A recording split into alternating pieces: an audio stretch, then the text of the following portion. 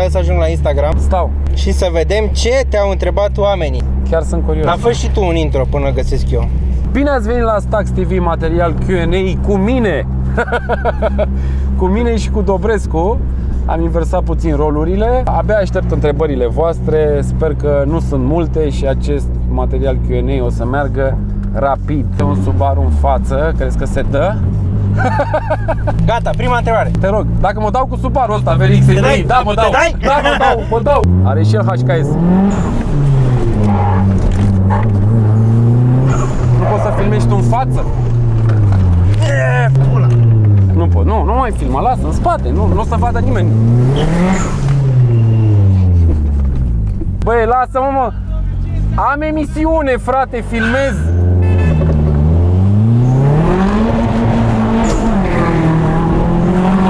Deci te dai? Nu. Mașina e doar așa de plimbare, în weekend, plimbare lejer. Nu! Nu! Ușoară. Mi-a scăzut telefonul. N-am nimic, avem frâne mecanică. Frânele de, frânele de Evo. Prima întrebare. Te rog. E bună de mașină de 18 ani? Bă, aș zice Eu că le arăt nu. și cadrele astea, Aș dacă vor. zice că nu, aș zice că nu. Da. Am o emisiune și răspund la întrebările oamenilor. În... Nu mai știu ce întrebare să răspund astăzi. Da, Pune o și- întrebare. Pune-mi o întrebare despre, Dom'le, fuge despre tare mașina Silvia. asta, dom'le! Fuge tare? De cur. Hai să ajung din nou la Instagram. Te rog. Deci nu e bună ca mașină de 18 ani. Bă, nu aș recomanda, adică nu e chiar așa, n-are nici sisteme, are doar ABS, adică să zici, bă, mergi cu SF, nu, n-aș recomanda, nu. Mașina a avut volan pe dreapta sau direct pe stânga? A avut volan pe dreapta, înainte eu am cumpărat-o cu volan pe stânga, gata, mutat. Ok, și o altă întrebare, asta era o, o semi-întrebare.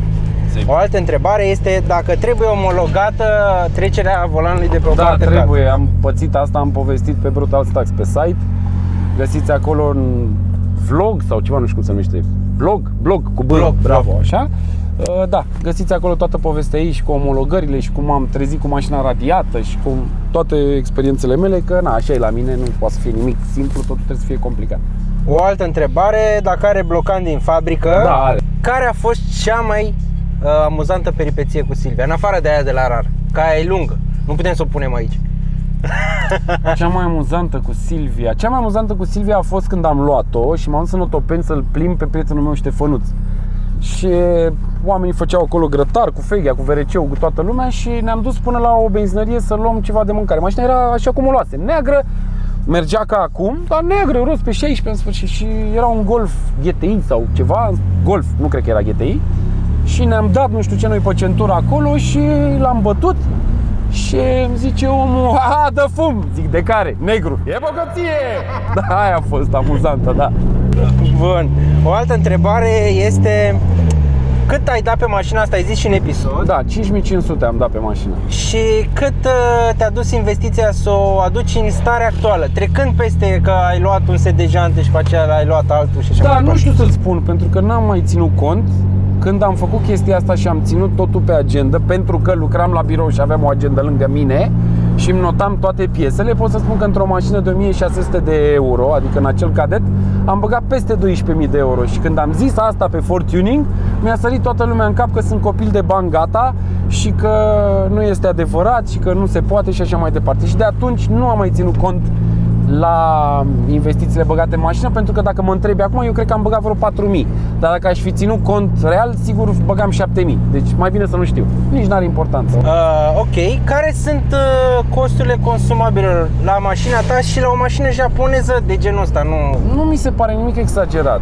Nici prețurile la piese, repet, am schimbat segmenți Am schimbat garnituri de chiulasă Am schimbat uh, tot felul de alte garnituri Semeninguri de supape și așa mai departe Jur că nu mi s-a părut nimic diferit față de o mașină nemțească Adică în ziua de astăzi chiar nu mai este problema asta. Da, într-adevăr, n-a știut nimeni să-mi repare motorul în București.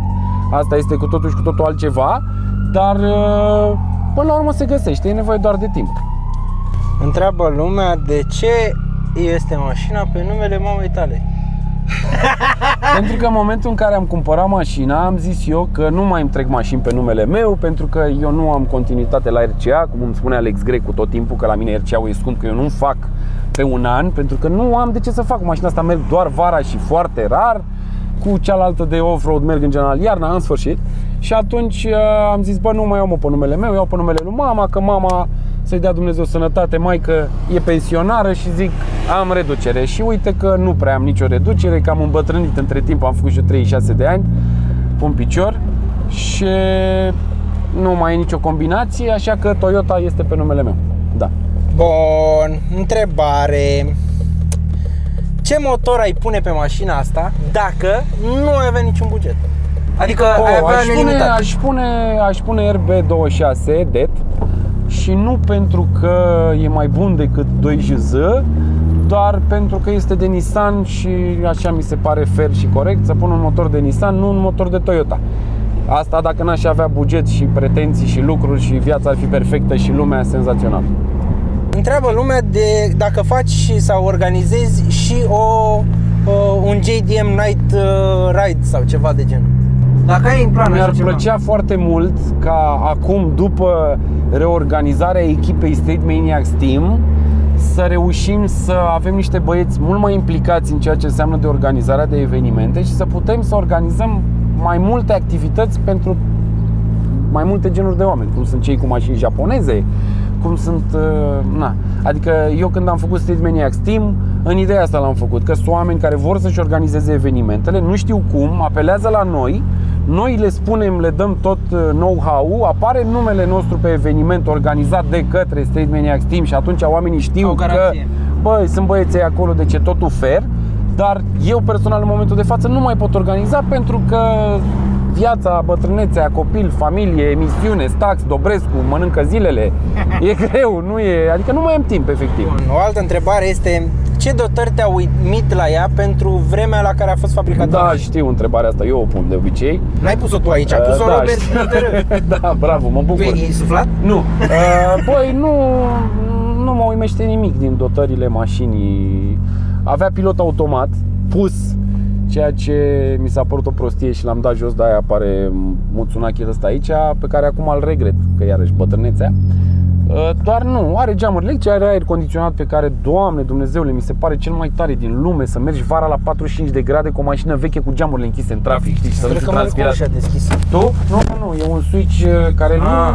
care dacă îți vine să Ăla crezi, e eroarea ta din bord. da, am o eroare în bord, îmi spune că am o ușă deschisă și nu pot să folosesc plafoniera pentru că mi-a stat tot timpul aprinsă această plafonieră, înțelegi, pe poziția de ușă deschisă și ce crezi, vără este cel mai bun mecanic și electrician din lume și nu mi-a făcut switch-ul ăsta și a zis că nu poate. Nici mie nu mi-a pus serverul. Da, a zis, bă, nu pot, că e cu un fir și de obicei e cu două, nu știu ce să-i fac. Și uite, așa merg cu o eroare în bord. O altă întrebare de la Sergiu este dacă ai de gând să-i faci un white body sau un rocket bunny sau ceva. Da, arată brutal. Silvia sau Na, să nu zic greșit, Silvia îi zice lumea în popor, mașina nu este Silvia, este Kouki, este 200SX, în sfârșit, nu intrăm în detalii de genul ăsta că plictisim oamenii și îi și confuzăm mai tare. Mi-aș dori un white body kit pe mașina aceasta Uh, și asta era ideea, de asta am luat jantele astea modulare, că am zis că îi schimb buzele, pun roțile de pe spate pe față și pe față mi-au alte buze ca să pot să-mi pun white body și ca să arate mașina tare și așa și pe dincolo, dar am schimbat aripa pe spate, am pus una nouă și mi-e milă de Dumnezeu să o tai la white body. Adică m, nu sunt decis, mi-e foarte greu să tai mașina. Da. Întreabă cineva, cred că te cunoaște bine. Când îi pui frâna hidraulică? Cred că Alexandra mă întreabă Nu, nu, chestia nu, asta, Albu Adrian. Albu Adrian, da, nu știu cine e. Băi, îmi doresc să o pun. Am luat un set de etriere de, de Nissan 300 ZX. Îmi trebuie niște adaptoare, vreau cu două etriere pe spate, cu circuit separat pentru frâna de mână hidraulică. E destul de complicat. Acum avem Toyota în plan care trebuie să intre puternic la modificat. Mi-e greu, dar am luat-o astăzi, astăzi am luat-o de acasă. De ce? Pentru că era la cuier acolo de 2 ani și Alexandra de 2 ani îmi spune, ți-am luat cadou nenorocitule, frână de mână hidraulică și n-ai montat-o nici până acum și eu explic, iubita mea, nu e atât de simplu, mai trebuie niște etrieri cu niște plăci, cu niște conducte, cu niște... nu e atât de simplu, nu că e, în sfârșit. Dacă ai avea, dacă te întoarci acum 3 ani, ai zis că ai la mașină, Da. și ai avea aceeași mașină în aceeași stare, Silvia asta Da. sau un R32, ce ai alege? Cum? Cu vas? Pe R32 Nu se compară, boss. Adică noi vorbim de un Espero versus BMW M3, ești nebun? R32 este este șeful la japoneze. Înțelegi? Când întreb cine e șeful la japoneze, e R32. Mi-aș lua R32 chiar dacă nu se produce cu volan pe stânga, la conduce cu volan pe dreapta. Atât de mult îmi place mașina. Consider că seamănă foarte tare cu Silvia, doar că e puțin umflată și e 4x4 și e tare și are 6 pistoane și e tare rău. E Consumă suprem. mult? Nici n-are importanță. Ce, mașina asta? Mașina asta? Nu aia, că aia nu știu. Nu, de asta, asta dacă consumă mult, bă, nu, 10, 11, 12, ceva de genul ăsta, nu. Vezi? Stai la relanti și nu vibrează nimeni. Înainte vibra. Nu e corect așa ceva. Domnule, ai făcut motorul că vibra la relanti, ești nebun. Face vutu tu tu tu tu tu? Da. Face, aveți, am dat, am filmat, are Dobrescu, filmări, vă tot, tot face, nu. Eu nu pic în capcana aia.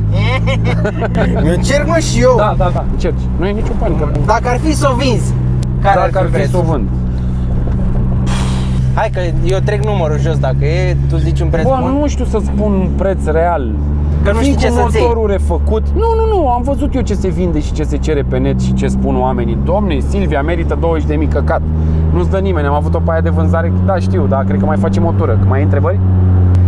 Mă, e bună întrebări. Hai, ia-o că ți arăt Am un trecut profil. oricum de...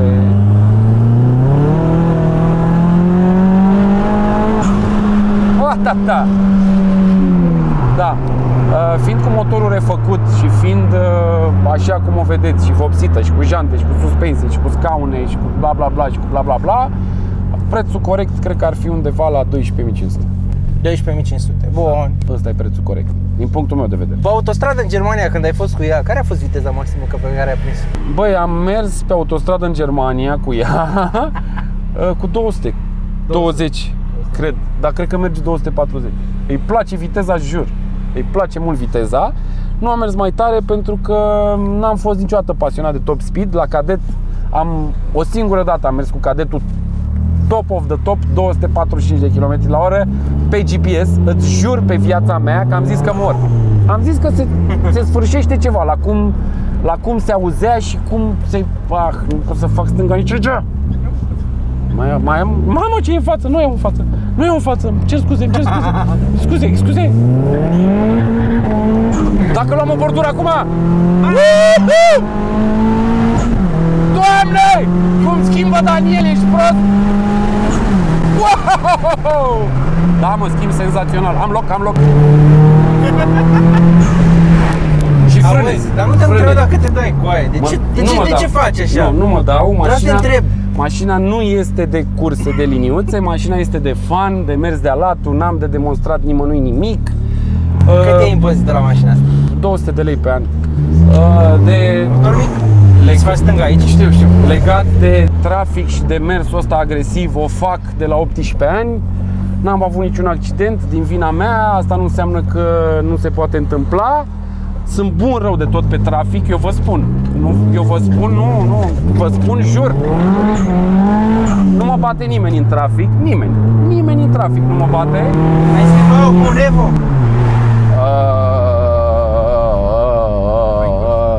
Este singura mașină ah, acceptabilă la aceiași bani cu care aș face schimb și mi-aș lua-o ca să trec la next level, pentru că next level este 4x4 după ce ai tracțiune în spate.